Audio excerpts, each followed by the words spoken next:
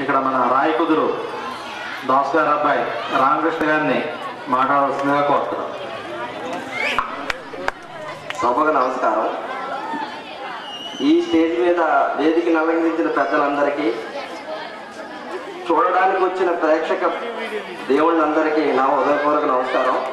ఈ ఆ, శ్రీకృష్ణదేవరాయ నాటక కళా పరిషత్ నిర్వహిస్తున్న గోపాలకృష్ణ గారు ఆడవాళ్ళ రాజుగారికి నా హృదయపూర్వక ధన్యవాదాలు.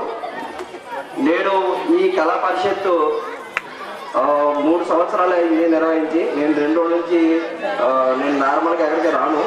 కానీ ఇక్కడికి వచ్చి కూర్చుని అలాగే ఒంటి గంట దాకా చూస్తూ ఉన్నాను. ఈ ఈ నాటకాన్ని ఇంత ప్రాచుర్యంగా వహిస్తున్నటువంటి పెద్దలందరూ చూస్తున్న వాళ్ళందరూ కూడా చాలా గొప్ప వాళ్ళ కింద మనం అనుకోవాలి. పిల్లలు కూడా చాలా ఆప్యాయతంగా ఆనందంగా వచ్చి చూస్తున్నారు ఇది మనం భావితరాలకి మంచిగా ఇచ్చేటువంటి సందేశాన్ని నేను ఆనందిస్తూ ఇది ఈ వేదికను అలంకరించిన పెద్దలకి ప్రజలకి అందరికీ నా ఉదయపూర్వక నమస్కారం. థ్యాంక్ యూ ఎవరికి క్లాప్స్ కొట్టలేదు కానీ ప్రేక్షకులు రామకృష్ణ గారు కృష్ణ గారికి క్లాప్స్ కొట్టారంటే దాంట్లో మంచి పట్టు ఉంది. మీకు అభినందనలు.